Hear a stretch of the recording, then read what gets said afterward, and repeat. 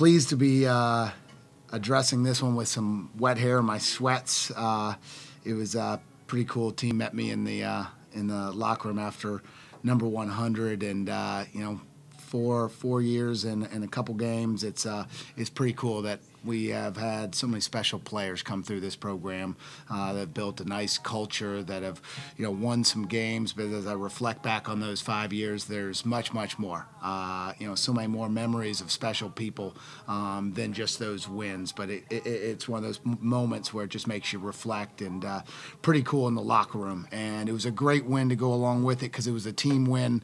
Um, our focus coming into today was managing adversity. And, you know, our offensive process has been off when we've faced adversity. And there's been short stretches in a number of our, you know, losses. And I think, you know, three to four possessions, and we got three more wins this year. But that's something that happens with uh, with with a bunch of newcomers and, and a youthful team in terms of experience. You know, cumulative experience to playing together. And so, uh, you know, making that step today, we didn't start out great. Um, but uh, but but ultimately played with poise through that adversity, battled our, our way back in, and then the second half um, was really really pleased to where we had two four minute wars as we call them, and we just dominated our process. We had uh, every shot until I called that timeout, which was a non paint touch shot that ended up leading to a, a, a, layup on the other end. We had something like 17 straight paint touch shots, and so I I, I love that process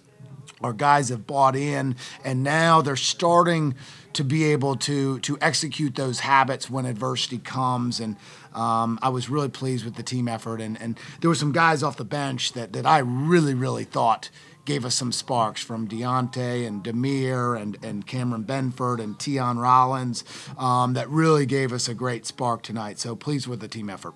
We just played a lot of great defense, had energy. You know, all week, coach has been telling us just to take your cool jackets off on defense and just play with energy, and we just rode the wave. Our defensive intensity picked up. We were, we communicated more, and that led to us being able to get out on the break.